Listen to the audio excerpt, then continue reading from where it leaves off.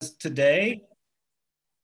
Recording in progress. Um, uh, reminder, I'm Brad Calvert. I'm the director of the Regional Planning and Development Division uh, at, at, DRCOG. Um, my, my, shop has been sort of taking the lead uh, on this conversation uh, since sort of the May-June uh, timeframe. So thank you everyone uh, for joining us for session four of our inclusionary zoning learning cohort. we know that this series has been a significant time commitment uh, for everyone. So we really appreciate you all staying engaged and carving out time from very busy schedules uh, to participate. Um, uh, I don't think it's news to anyone that we are now in the holiday season, which means uh, scheduling can be a little difficult to navigate. So we had a bit of a break uh, between our last meeting, which I think was late September, uh, and today. So appreciate you all um, having some flexibility in terms of the cadence of our meetings. Um, as a quick reminder, as I mentioned, we're in sort of session four uh, all other, all previous meeting materials are actually on the DRCOG website. So if you want to go back and look at previous presentations, uh, you can certainly locate those. They're generally uh, associated with the calendar event uh, for each of these meetings. If you can't find something you're looking for, reach out to us either via chat today or, or later, and we'll make sure and, and connect you with those uh, materials. Um, it's sort of a, an orientation to what we'll be doing today. Um, our previous sessions have really kind of focused on some of the more technical aspects of inclusionary zoning ordinances and programs, uh, whether that's understanding the economics uh, and how uh, ultimately the, the development community views uh, these uh, ordinances uh, to some of the important considerations when it comes to design and structure. today's conversation, we're actually sort of making a pretty purposeful shift um, and we're really maybe more in the sort of hearts and minds uh, side of this uh, conversation, um, really sort of how you build support uh, with sort of uh, marketing and messaging uh, oriented to a variety of different audiences that obviously uh, have to be on board to move forward with, with programs such as these. Um, as we've done in, in, many of our meetings, we actually are thrilled to have an, an external guest or expert. Uh, in this case, joining us all the way from uh, Atlanta, Georgia. We've had some folks from the Bay Area, um, I have flown to both. It takes a lot longer to fly to Atlanta, and I've had the pleasure of driving there recently, and that was not much fun. Um, so we appreciate Josh uh, spending some time with us. Uh, Rodney is going to help uh, with that session here in a second. Uh, additionally, we have three individuals um, that have participated in this group uh, stepping into expanded roles uh, today. So we really appreciate Rodney, Sue, and Brad spending some time with us over the last few weeks to prep for today, um, as well as uh, helping out with today's uh, conversation. So Rodney's going to um, introduce our first speaker uh, here in a second and moderate um, uh, the conversation in, in, some ways from a unique sort of firsthand uh, perspective. And I'm sure Rodney will cover that uh, in his remarks. and Brad and Sue um, are going to also participate and moderate with Dr. DRCOG staff sort of a small breakout conversation that we'll have a little bit later, sort of partnering up with some DRCOG team to, to lead those conversations. So if you've got a burning question uh, related to sort of your own uh, journey uh, locally to, to be thinking through uh, the inclusionary zoning um, uh, approach, uh, please keep those in mind because those should be front and center during those breakout conversations. I'll do just a couple quick housekeeping things before turning it over to Rodney. Um, we are not planning um, to do sort of virtual uh, introductions sort of going around the room. So please feel free uh, to use uh, uh, the chat feature. And I just related to that, I just saw Joffrey noted if you've got any updates that you think the group might be interested in in terms of things you've been working on. I think chat would be a great way to do that as well. Um, I will also mention I'm pretty confident we are, will be PowerPointless today. So we are going to be spending a lot of time um, in sort of uh, gallery mode, if that's the setting uh, you've chosen. So if you're comfortable turning on your camera, I would certainly encourage you to do that because we're going to be spending a lot of time really just sort of having conversations uh, as groups. Um, in terms of any kind of technical uh, issues related to Zoom, we've got a special guest technical moderator today, Cam Kennedy, has lent us some time, which we really appreciate. Um, Cam is working behind the scenes on all things related to Zoom. So if you have anything that's kind of going on that you want some one-to-one uh, assistance, feel free to direct message uh, Cam and he, he can do his best to respond. We've been fortunate, uh, fingers crossed through this series to not have any sort of cataclysmic uh, technical issues. So hope that uh, continues today. Um, so with that quick kind of orientation and overview, I'm gonna turn it over to uh, Rodney Milton, Community Development Manager for the City of Aurora to get us going um, for the first session. Uh, as with past sessions, please note uh, any questions in the chat as Rodney and Josh are having uh, their conversation and or be ready to maybe unmute um, after they've concluded their presentation to ask any any questions. So we're, we're definitely informal uh, today, but uh, certainly keep your questions in mind so that we can have a good conversation when it's when it's time to do that. So with that, I'll kick it over to you, Rodney. All right, thank you, Brad, and good afternoon, everybody. Um, I, you know, genuinely appreciate the opportunity to have this conversation, particularly with someone that I view as a really good friend of mine, Josh Humphries who is the Director of Housing and Community Development for the City of Atlanta. Um, you will note that we're friends, so don't be offended by our banter and back and forth. We're going to keep this casual, have a genuine conversation about sort of the history that preceded uh, the implementation and then the transfer of uh, uh ownership, if you will, of the program, and then some some 2.0 uh, issues. So I'll kick it off to you, Josh. We can we can talk about this.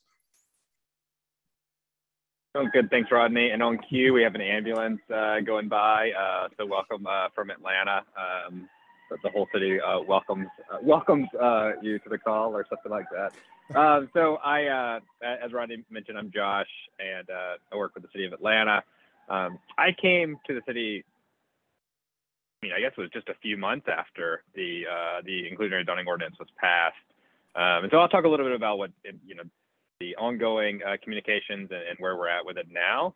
Um, but Rodney, I think maybe to, to kick it off, I I'd love to, to kind of hear a little more about what the general environment was like when you started the conversation. I know that you um, and uh, a particular council member who just got elected right. mayor of Atlanta right. last night uh, yes. played played a big role um, in, in the years leading up to that. Uh, so talk a little bit about just kind of the, the environment and like why IZ became a conversation around housing affordability to begin with. Yeah, so I, I would say that, you know, interestingly enough, in 2006, 2007, there was an early, early conversation about inclusionary zoning that kind of died. Um, then uh, um, Mayor Shirley Franklin had sort of convened a housing task force and it sort of died and it picked up again right around 2015, 2016. 2015 in Atlanta saw a burst in multifamily development, particularly around the Atlanta Beltline.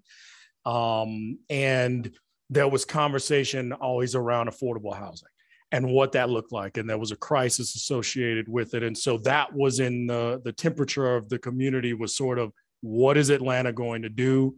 This was a pressing issue. There were lots of housing strategies. So, Invest Atlanta had released in 2015 a housing strategy. That's the Development Authority. And so there was a lot of conversation in the air.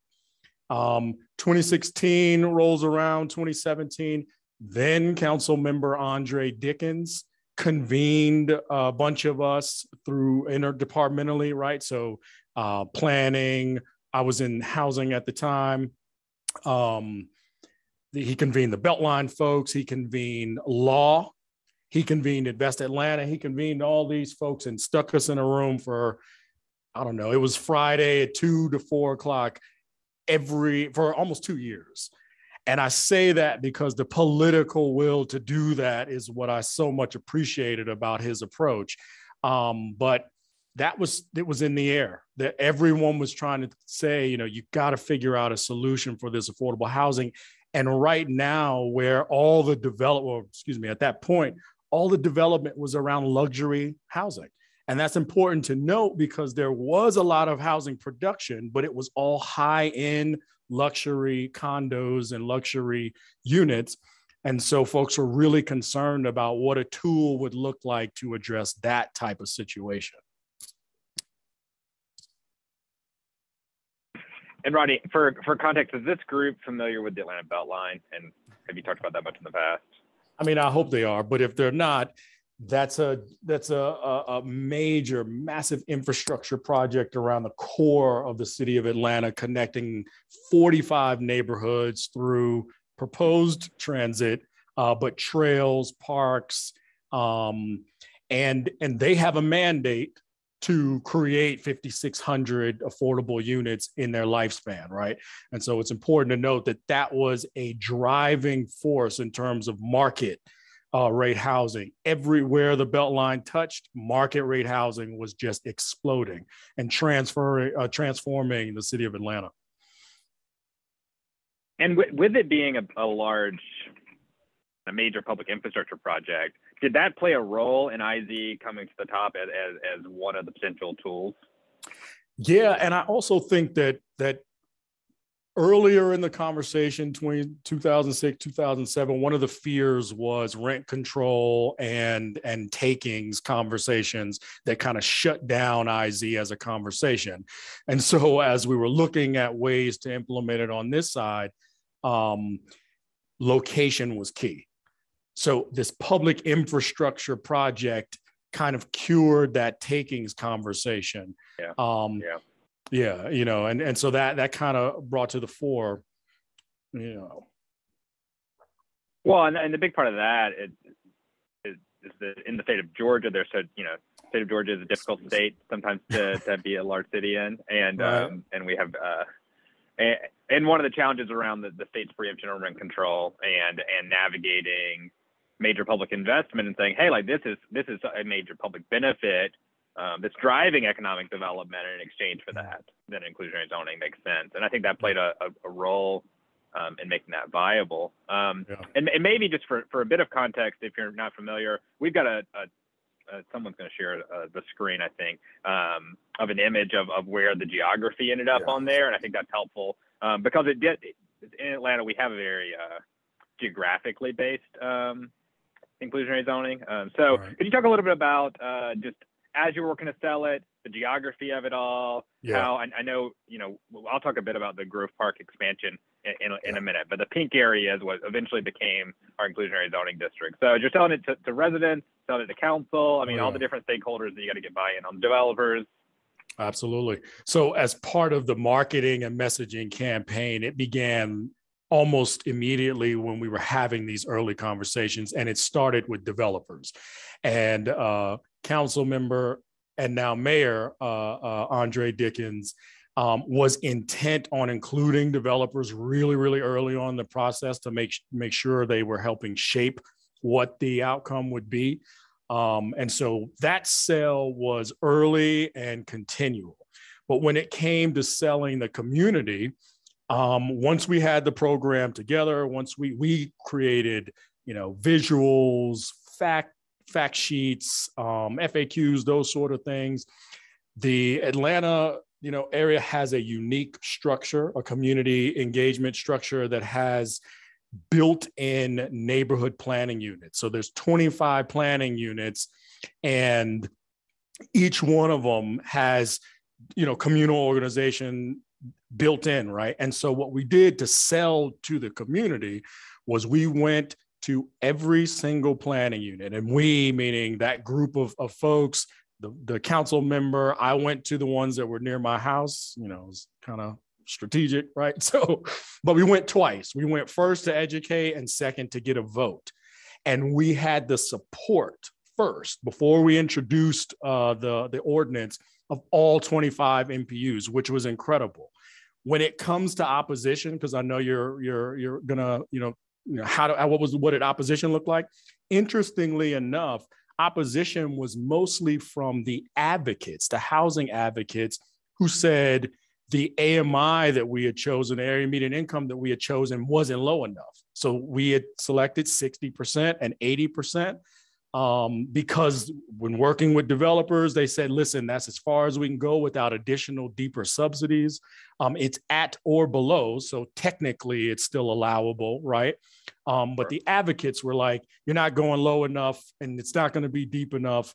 And that was where the opposition was. And they were almost the source of just shutting down the entire thing, if you can imagine.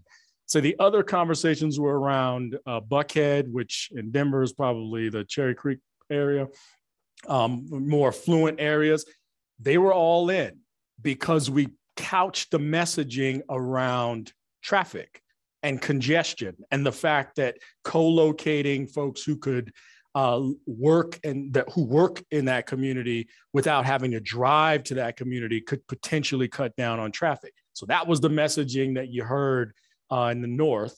Um, and and in the South, there was a little bit of controversy in terms of more affordable housing, but truthfully, this was tying it to the market. And so that's that was some of the messaging and marketing that allowed us to get almost nearly unanimous support from all of the NPUs. Um, so I see a note in here asking about the the Beltline. So the the pink area is it varies a bit, but it's about a half mile buffer on either side of the of the Beltline. The Beltline is actually a loop around the downtown core. It's an old um, railroad um, connection belt, like loop um, that's being uh, that's turned into this green belt and been right. going on. It. So, but so that that's why the, the very odd geography uh, this year. Um, and it's a zoning overlay. So, uh, yeah. Yes. Yes. Um, so what to, I want to go back real quick to this advocate conversation because I think that's one that's an ongoing conversation um, that, that not only in the before uh, selling, but also even now that uh, we still get a lot of pressure from the housing advocate community um, that our AMIs are not. Um, we, we don't ask for a high enough percentage of affordable units, and we don't um, require uh, low enough uh, median income requirements. Um, and I and I do think that's in my mind, and Rodney, I'd love to hear your thoughts on this, but that's one of the fundamental challenges of inclusionary zoning is that uh, sometimes the rhetoric can get like very silver bullety, like, "Oh, right. this is how we're going to fix affordable housing in the city." Um, and at the end of the day, you know, this is a relatively incremental tool. I think a helpful tool and an important one, but but it, it incremental in the sense that you have a little, a few amount of units spread throughout all the new development in a given area or in a whole city. Um, and the you know the idea of this is that it would not be uh, you know, additional subsidy, right? We're, we're talking about right. unsubsidized dedicated right. affordable units. And unsubsidized units is a different scale, you know, a 30% median income, for instance. I, I don't think there's um, any scenario that, that I can imagine that you could require that of a developer without subsidy alongside of it to help, you know, make up for the loss they're going to take. And so I think it, it's on the front end, on the back end, all throughout. You know, yeah. I think the pressure from the housing advocate community, I, th- I think that was not unique to Atlanta. I would assume that a lot of other cities deal with that too.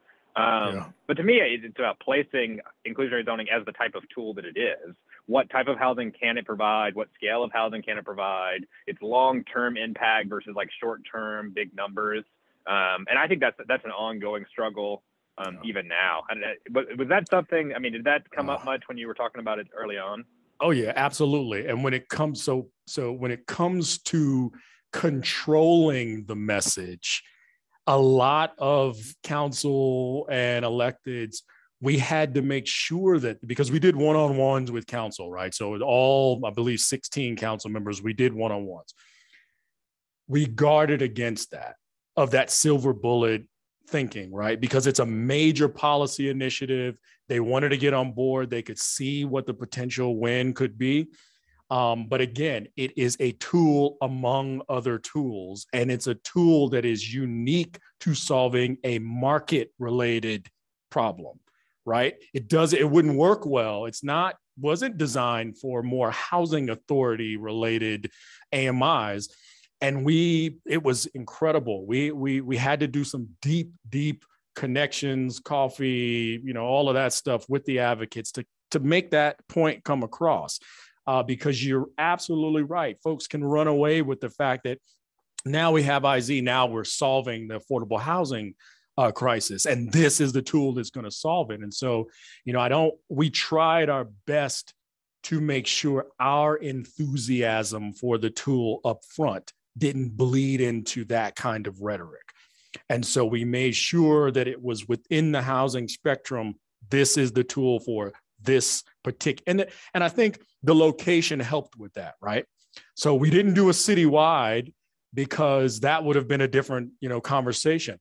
Having it around the Beltline, you began to, to sort of uh, address anti-displacement issues or this is a gentrification mitigation strategy as opposed to just solving affordable housing. And that may be essentially you know how we shaped the conversation. But again i'd be interested from my point of view having you know once you inherited the program um, and thank you for that um, what's it look like now right? What now that it's run for a couple of years so it was implemented 2018 it's now 2021 Where are you seeing that conversation go now? Um, and is it is it easier? Is it harder of a sell? Yeah, you know, I think uh, we earlier this year released our kind of three year report, kind of on the first three years, and you know, assessed market trends, kind of in the three years prior, three years prior to it, and, and three years after. Um, you know, the, the units that have been developed, a, a, number of different things, kind of some some myth busting around. We have a big townhouse trend in, in Atlanta. I don't know if that's the case in Denver. You know, the trend of oh well, you don't require for sale um, inclusionary zoning, so everyone's building townhouses instead. So there was a lot of that type of rhetoric that we um, were able to, you know, use data to mitigate a bit. I, I think that the challenge of from housing advocates is probably where the loudest is. I, I think where where the, the tough part of inclusionary zoning to me, from an ongoing narrative standpoint, is you get kind of pinched on both sides.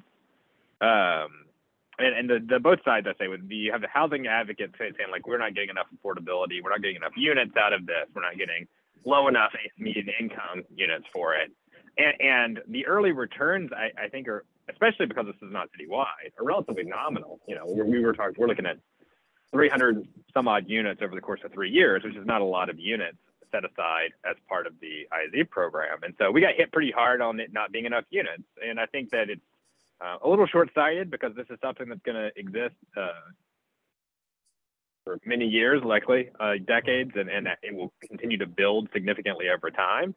So, so we're getting hit on that on that one side, and then you know you get the kind of the continual refrain from developers of, oh, you're making it economically not viable, or it's you know it's pushing us out. Atlanta has a large suburban population, and uh, we there's competition with suburban areas, and so there's mm. kind of a, a, refrain of, oh, we're just going to go to some, you know, wealthy suburb and build this instead of building it here because because of IZ. And you know, we don't see much of that in the data, but that's where right. we, there's a lot of there's a lot of rhetoric around that. So I think that's that's.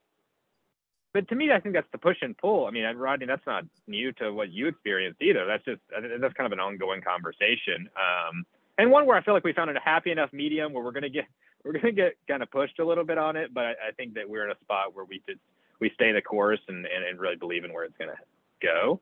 Um, so that I mean, so that's generally where it is. Um, we the other thing for me is, uh, and, and our team rather is looking at ways to improve it. Right, we're three years in, and this is an iterative process, and um, there's geographic changes um, that that can be considered, but there's also some you know policy changes related to it. What's working and what what's not working. Let's look at the yeah. AMIs. Let's look at the percentages. Let's let's look at things that didn't make it into the first one and ask questions about why why um, it didn't make it, whether or not we want to include it. So you know, a couple of those. So we're getting ready right now, and likely in the next like six to eight weeks, we'll begin uh, some more public conversations around this. Um, uh, on a few changes to the ordinance. And, and one thing that we did in this past year that I think helped the state set the stage on this is since we didn't do citywide, we um, and we based it on this idea of major public investment being a, a trigger of sorts for in, inclusionary zoning. Um, the city announced on the the blue um, outline here on your map the the potential expansion area. Um, this is near a large, you know, $30 million park that the city just built. And um, we expanded inclusionary zoning to this area earlier last year. So this is now in place as part of our inclusionary zoning district. Um, and that was in response to, hey, there's major public investment happening in the area of the city that has not seen a lot of investment, and we want to ensure that there's affordability and what's, what's to come. And so having that kind of idea of this is tied to major public investment really laid a lot of the groundwork for us to say, hey, this is a tool that we think makes sense to expand here and expand here for these reasons. Yeah. Um, what it also afforded us was to create, uh, to oh, experiment is probably not the right word, but to add some some changes to inclusionary zoning just to this district um, mm-hmm. that we would eventually like to add citywide. And one of those is including a, a for sale requirement. So this district, the blue district, but not the rest of it, includes a for sale requirement for uh, inclusionary zoning. Um, and it also did does incorporate a 30% median income option at a lower percentage rate. Oh wow! Um, and okay. those are two things that we, yeah, yeah. So it's five percent set aside for 30% AMI. Um, so it's a pretty small set aside, but it's a very low income. And so, um, you know, we'll see. We haven't had a developer take us up on it yet, but we thought it was a good thing to kind of you know, see how it works. And, and, and it, again, this is iterative in, in some ways of trying to, you know, continue making this better as we go. So we're looking at early next year, adding those requirements um, and options to um, the broader inclusionary zoning district. And then looking at other things as well. One of, one of the other ones, you know, you mentioned anti-displacement. There has been some challenges that, hey, you're creating new affordable units, but they're not necessarily for the residents that live there mm-hmm. right? They're they're affordable, but you know, you know, how can I ensure that the residents that are in that neighborhood actually have access to that? So we're, we're exploring some options for resident local resident preference, so that we can yeah. have a, a, a, wait list that hey, if you live in this neighborhood, you get a priority, or yeah. there's a certain set aside among the IZ units for residents that have lived in um, in a in a sub area or a geographic area that has IZ. Um, so there's some details we're still working out on that, but I think that for us, really, it's our goal of wanting to help residents stay in the neighborhoods they live in and not be um, displaced, specifically not displaced due to ma- major public investments, right? Um, but also for us to be more directly related to anti-displacement goals and some of the narratives that we've gotten that IZ is, you know, is even though it does a lot of good things, it's not necessarily right now directly helping residents that live in the in the neighborhoods currently.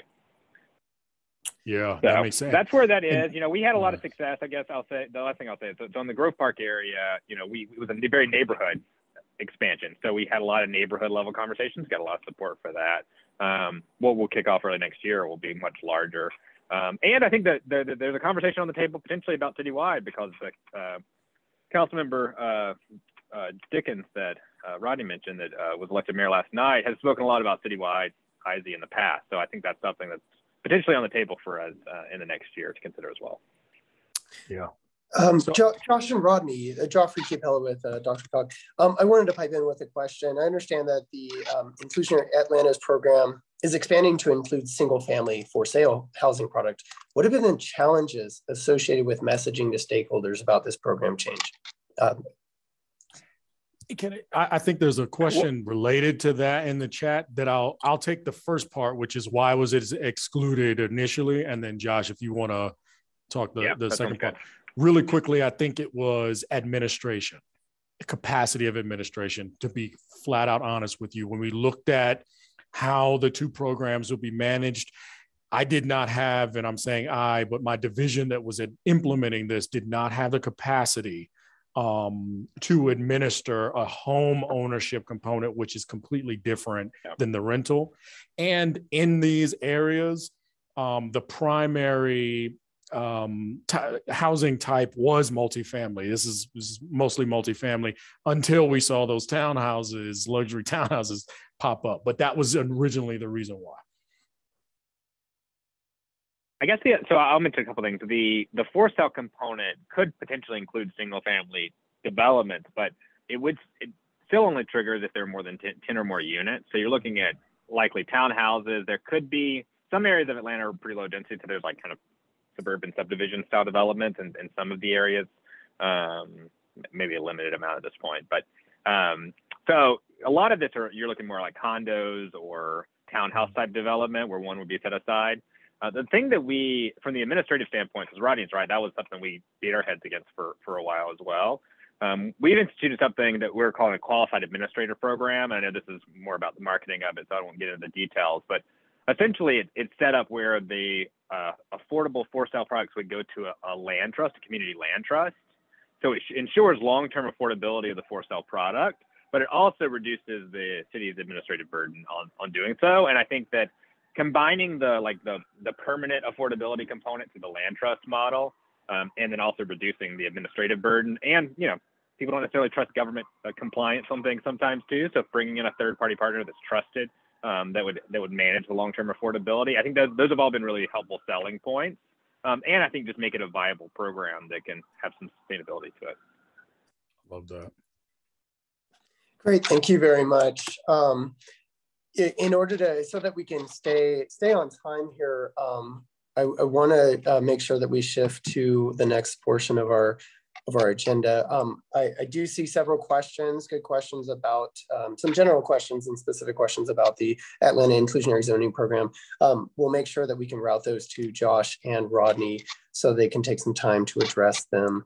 Um, and uh, but thank you, Josh and Rodney, for sharing the story of Atlanta's inclusionary zoning program, the uh, messaging as it has changed over the past several years.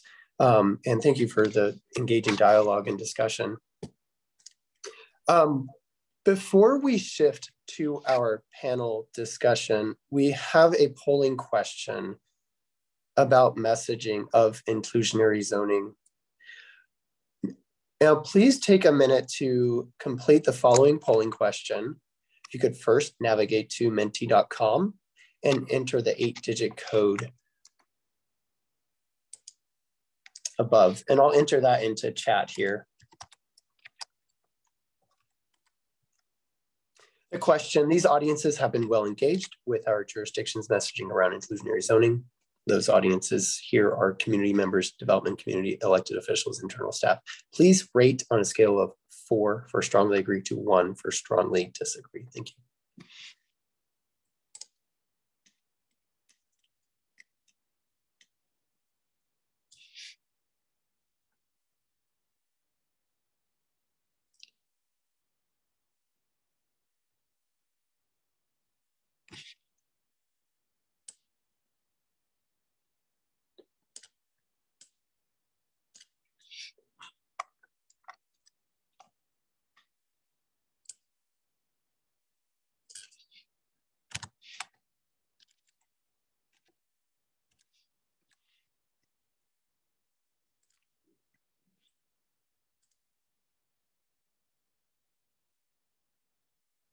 We have close to 14 participants, 14 or 15.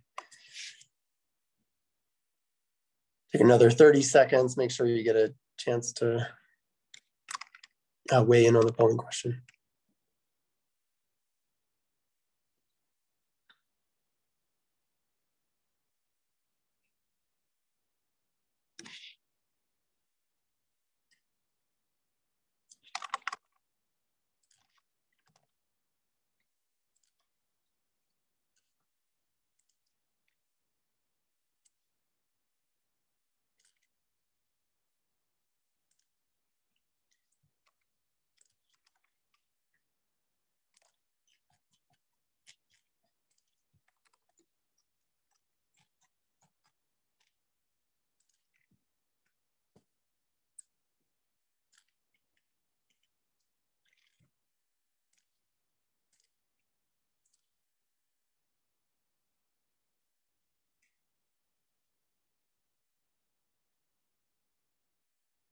Okay, great. I think we've uh, had a chance to level out uh, the numbers leveling out at 11 or so participants. Um, and uh, another another one in there. So um, pretty interesting results. Um, elected official and development community, our, our self-assessment here is showing collective assessment here is about a two and internal staff closer to three. Uh, community members maybe have a ways to go in terms of their engagement. So perhaps these are not, not um, too surprising. Um, now I want to would like to welcome our panelists for the second part of this session, Brad Weinig and Sue Beck-Ferkiss. Brad is the Director of Catalytic Partnerships for the City and County of Denver, and Sue is the Social Policy and Housing Program Manager for the City of Fort Collins. Uh, you can find their bios in the attachment that was sent out on Monday morning, along with the bios of Josh Humphries and, and Rodney Milton.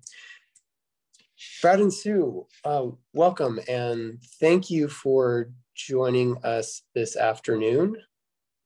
Um, I have two questions and then I will give you each two to three minutes to tell the kind of arc of your story about your respective jurisdiction's journey relative to inclusionary zoning before we shift into breakout rooms in about 10 minutes or so.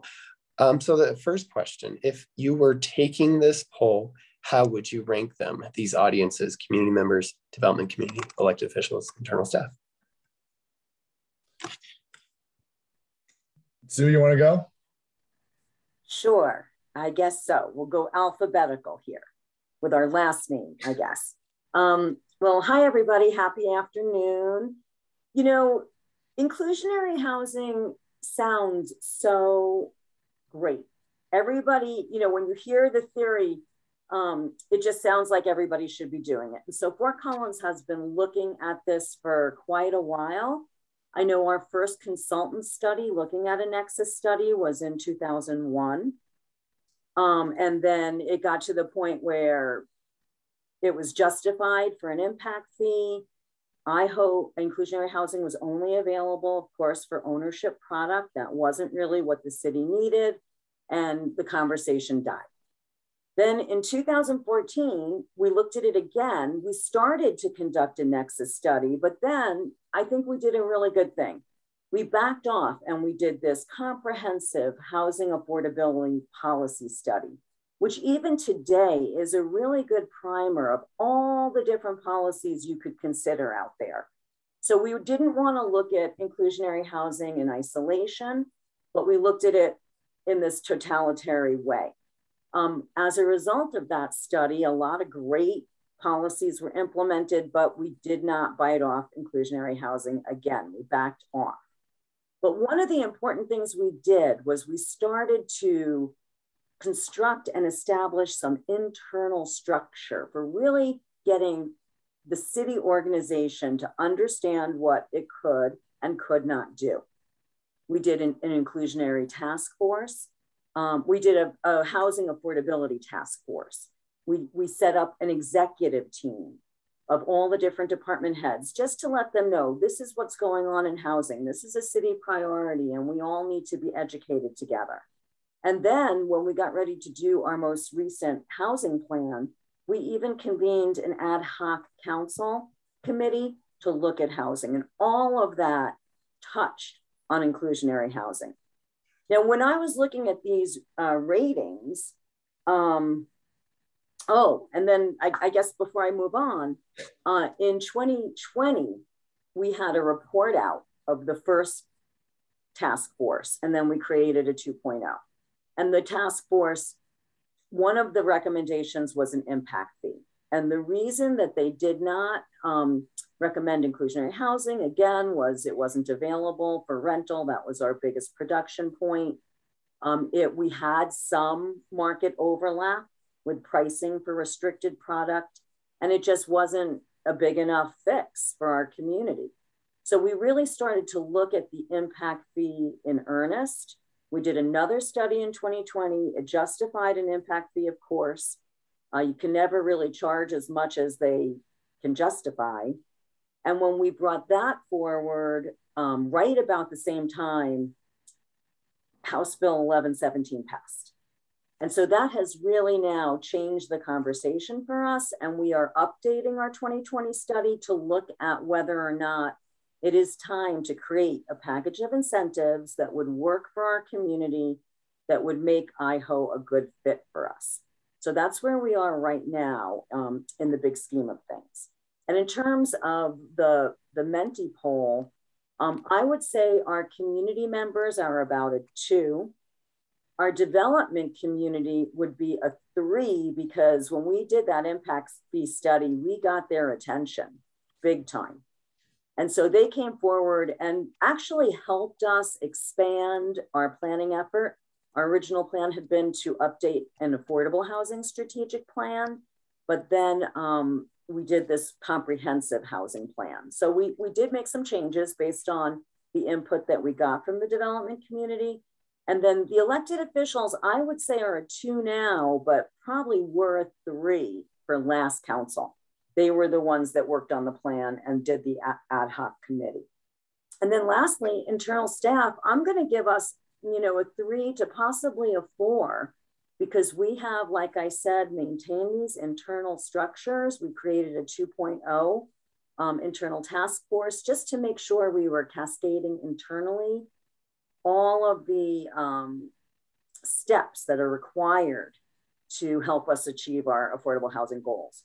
So we have, like everybody else, produced a lot of affordable housing. We're very proud of it in the last five years, but we did not make our five-year goal and we need to come up with some additional tools, resources, and you know, really push the envelope on this. I think there was a question there real quick. Um, the impact fee we looked at and that we're still looking at would be both probably residential and commercial. Residential yields a lot more than commercial. Oh, and then we would prompt what we want to do, I think, would if we end up getting the inclusionary zoning ordinance right with the right package of incentives, we would still have an impact fee that would pick up anything our inclusionary housing ordinance missed.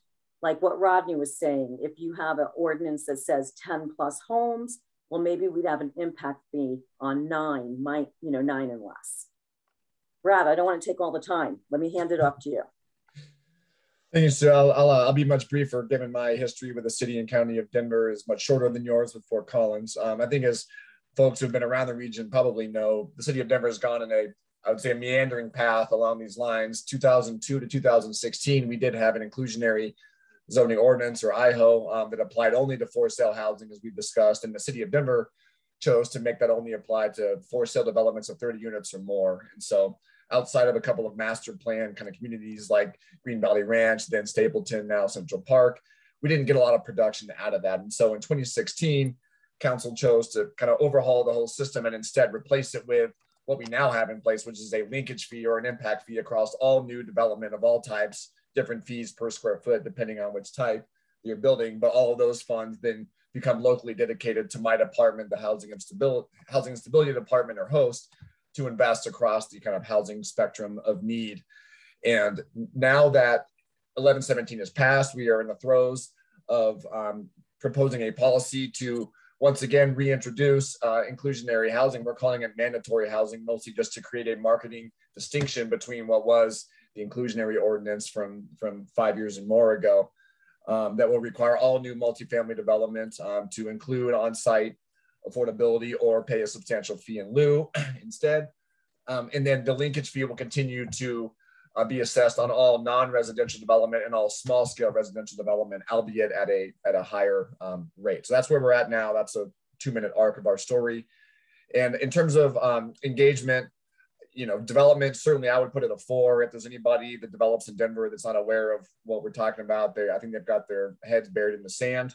Um, we've been very intentional about reaching out to them in particular. I think we're we're doing a pretty good job with elected officials and internal staff as well, mostly because that's a defined you know subset of people. So I would give that a probably a three.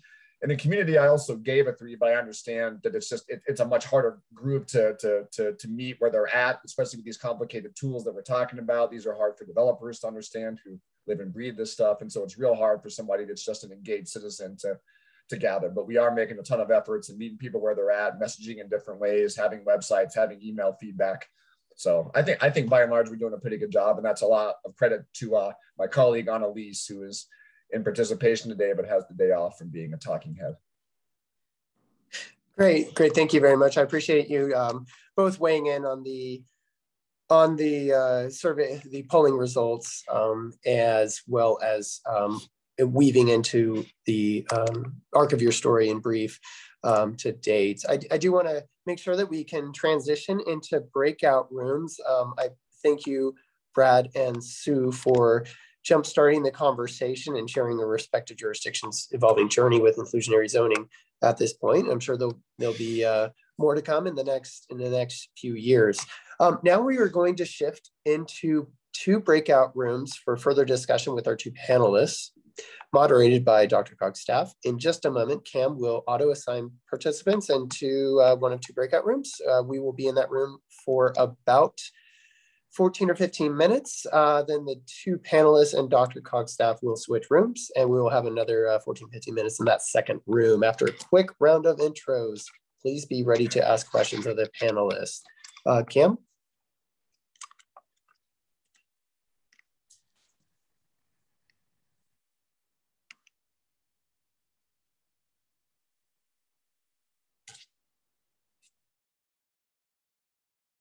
Um, I it, thank you. Uh, recording in progress. Um, I, had, I hope everyone had an engaging discussion in um, both of your rooms as you switched around, um, as speakers switched around and so forth. Uh, we would now like to use most of the remaining time to determine if there's an appetite or demand for um, session five at this time. And if so, um, identify some possible topics um, for for a session that would, would occur in the in the new year.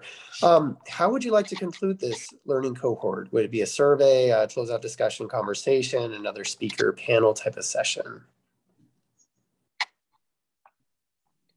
Godfrey, I'll just I'll go. I'll bring forward uh, something that came up. I, I think in both groups that we carried over the conversation and what became uh, room two that Sue's first uh, version sort of picked up, and then um, I'm sort of using Rodney's terms, and I'm not sure if Rodney's still here, um, but the way it was described is um, there may be some power in coming at this um, using sort of the same or similar platform, like as as, as conversations are happening locally to ultimately orient terminology, language um, to similar efforts that are happening in other communities around the region may ultimately be super helpful uh, to folks that are pursuing uh, this work uh, locally, which is good. I mean, that's I mean, in some ways, that's the origin story as to why we really wanted to bring uh, this group together. But but that was something that was brought forward uh, as maybe a good use of time, whether that's thought of as session five of the cohort, or maybe something we just convene early next year is particularly if maybe some of the folks are really getting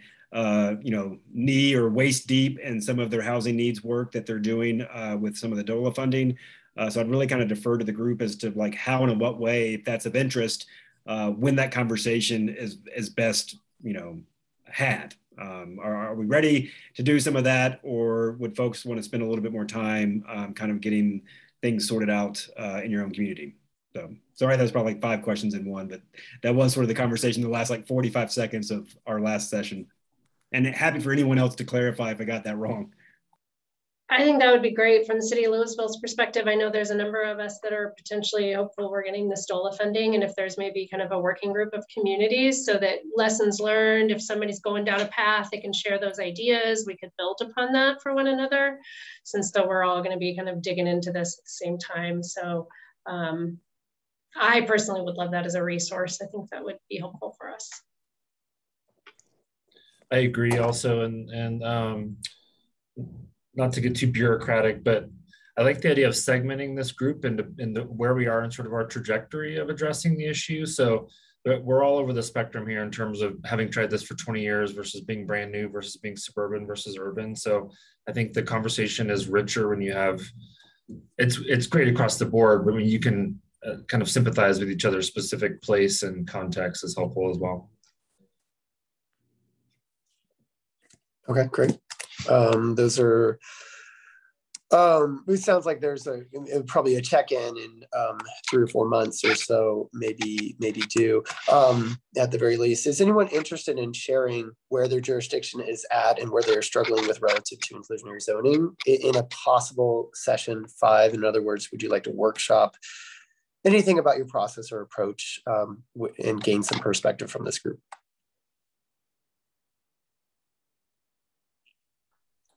Well, we wouldn't be there in three months, but I wonder if we could have some kind of a repository or shared place for materials, right? For like the actual ordinances that people are drafting or the agenda item summaries so that we could learn how um, we're kind of selling this in other jurisdictions. I think that would be super helpful.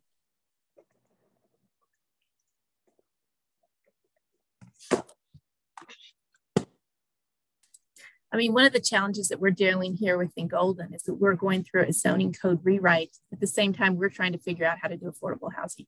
And so it's almost like we've got to understand how do we do affordable housing it, it, it, with the right incentives and the right strategies uh, that also mesh with what's going on with our development code process. So I'm not but, sure if other cities are struggling with this at the same time. I know Lakewood just did a growth ordinance piece.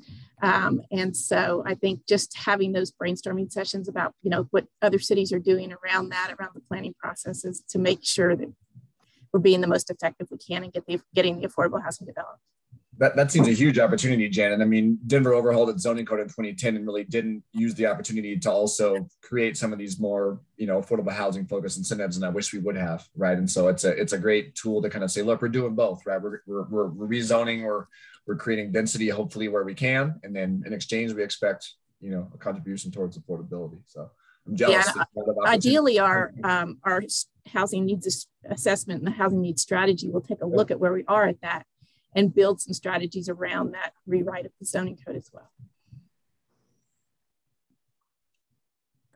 We're in the process of updating our land use code and we're doing it in two phases. The first one is for residential and organization because it's kind of a Frankenstein code that's just been added to over time. And then um, after, then we're going to do a phase two on non-residential.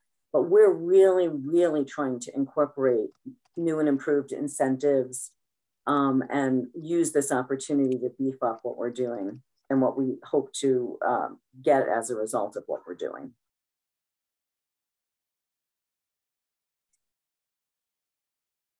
the city of Aurora, um, we updated our code, uh, Unified Development Ordinance in 2019. It took years to do that. And the only um, really more progressive housing um, addition was the addition of ADUs. And, but it was only, you only can do accessory dwelling units in original Aurora you, and they must be alley loaded. So there were a lot of sort of conditions around it, but we the the the IHO was a deal killer for the balance of the of the code, and so it wasn't included. Yeah, this is Andrew here, and I appreciate Jeff's suggestion a little while ago about possibly splitting up into groups that are more similar. Um, you know, I feel like in Westminster, we're we're a step or perhaps even a leap behind what things I'm hearing from most of you we can't even figure out how to have this conversation with our city council. Our city council's not interested in housing that's anything greater than single family homes on 7,000 square foot lots. So, you know, I, I, guess I'm looking for some technical assistance with, you know, to have a foundational understanding uh, with our legislative body um, before we get into the practical elements of, of creating a program. Andrew, can I respond to what you just said? Sure. Um, because I think one of the problems, at least where I live in Lakewood, is that we're tearing down single family homes and not building them at all and increasing density. But increasing density, when you're increasing it for a product that is much more expensive than the single family home you're tearing down, has been gentrifying our community and kicking people out of our community. So we need to be careful when that, and that's why I'm so excited about this. I'm not optimistic about Lakewood in general, but that, you know, exactly having inclusion, including actual affordable units. Because just saying that, I mean, if tearing down single family homes or only building high density, that, that doesn't provide affordable. Only building affordable units provides affordable units. Um, okay, yeah, um, Kathy, we are. I, sorry, I, I did try to chat with you about this, but one thing we're seeing is um, Elevations Community Land Trust actually is in the process of purchasing public housing units from our housing authority and converting them into affordable condominiums. And some of them will, Great. some of them will, they'll look like a house, but they may have two or three units in them. Or some of them will be a single family house. So we're, we're doing a preservation project for that purpose. That's yes, great. Those are actual affordable units then. I'm gonna, uh, we'll need to wrap up the discussion there. Um, and um, uh, we are going to, I'll kick it over to Brad very shortly, but uh, heard a lot of good suggestions. Um, I'm not hearing that we necessarily need a session five, but we will um, follow up with this group um, and perhaps it'll be smaller convenings and debriefs. So Brad, um, go ahead and if you could close us out in the next few minutes. Yeah, that'd be good. I'll, I'll be very quick because I know we're right at time. Um, and Joffrey's sort of alluding to this. We asked the question just now in part because we're doing a debrief tomorrow to figure out sort of where to take this next. So that's super instructive to kind of hear the perspective of, of this group because ultimately we're trying to serve uh, your needs. So just know that doc, the staff is going as DRCOG are going to have this conversation tomorrow and figure out sort of what to do next. I just want to reiterate what I said earlier. Thank you so much for the time that you've given us uh, over four meetings over the last uh, six months. Um, this is sort of a new thing for us to do convening in this way, but it's something that we've been really interested in doing. Uh, so we've been doing a fair amount of sort of uh, building the airplane in flight. I think Brad, the other Brad also used uh, that saying earlier. We've been doing a fair amount of that. So just um, appreciate you all sort of learning with us. Um, I just want to quickly shout out again to all the um, uh, peer learning cohort folks, but also to DRCOG's staff who have been think giving this uh, these series of sessions a lot of thought, particularly to Joffrey who has been organizing and keeping us uh, on track. Um, we will again sort of use the remainder of this year to sort of figure out how and in what way we continue uh, the conversation in 2022. So just know you're going to hear from us uh, over the next few weeks. I, I, know Joffrey just put the sort of post-session survey uh, in the chat, but we'll do that uh, via email as well. I just want to do two quick, super quick plugs. Uh, it's come up a lot already, but but DOLA has money out there right now. If you were if you were not looking to that opportunity, I would strongly encourage you to do so. Um, there's a deadline on on December 6th for the next round. I sense they're going to have planning grant money uh, for next round in January. My conversations with DOLA staff suggest that that might be the last round. So if, if this is important to you and you think there's an opportunity to do uh, a housing needs assessment as well, as well as some other sort of strategy work, I would encourage your community to take advantage now. Uh, and then finally, a more uh, self, uh, a plug in our own self-interest is DRCOG. Uh, we are currently um, soliciting nominations for our awards program for 2022. Uh, we always love to, to ultimately um, celebrate and recognize innovative uh, local planning policies and programs. So if there's something going on in your community that you think is uh, worthy of recognition uh, in that awards program, take a look at the DRCOG website and or reach out to me. Uh, we, we think there's all, all sorts of great work that's happened over the last couple of years that ought to be highlighted uh, during that awards program. So um, shameless plug on our part. Um, so again, uh, thank you everybody for hanging out for an extra two minutes uh, today. Any questions, um, uh, updates, suggestions are always appreciated. So feel free to reach out to any of us anytime. Thanks again uh, for hanging out with us today and at our other sessions. Hope everybody has a good rest of your afternoon. Thank you. Thank you, everybody. Thank you. Appreciate it. Take care. Thank you.